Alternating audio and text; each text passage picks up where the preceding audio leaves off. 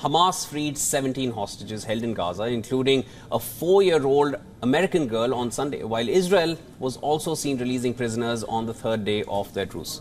Now, the transfers under this truce that started on Friday have been the first relief for captive skins since the militants attacked Israel on the 7th of October, prompting Israeli bombardments. And while the clamor to extend the truce is growing, Israeli President Isaac Herzog has not ruled out the possibility of a coalition running Gaza, including the United States as well as the other nations.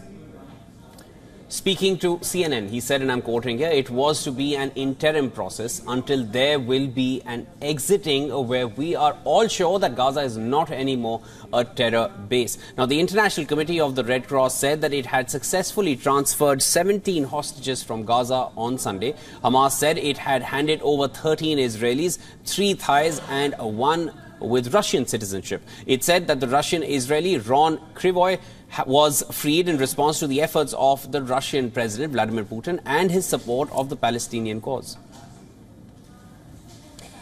Now, Sunday's release brings the total number of freed hostages to 63 from around 240 that were taken to Gaza after the October 7th attacks by Hamas. Israel has faced mounting pressure to extend the pause, mediated by Qatar, the United States, and Egypt.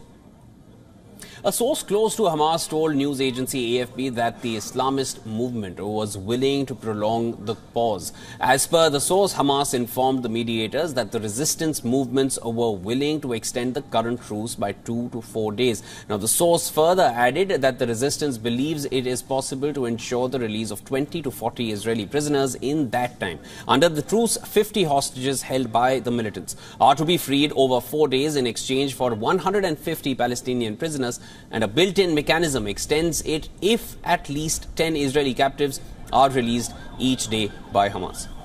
Now, Israeli leaders have tempered hopes of a lasting halt to this offensive. In Gaza, Israeli Prime Minister Benjamin Netanyahu said, and I'm quoting here, we continue until the end, until victory. He spoke while making the first visit to Gaza by an Israeli premier since 2005.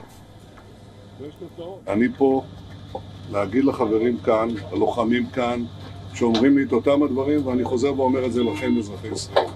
אנחנו ממשיכים עד הסוף, עד הניצחון. In the southern Gaza city of Khan Yunis, residents received a text message from Israeli forces that said that they know hostages are being held there.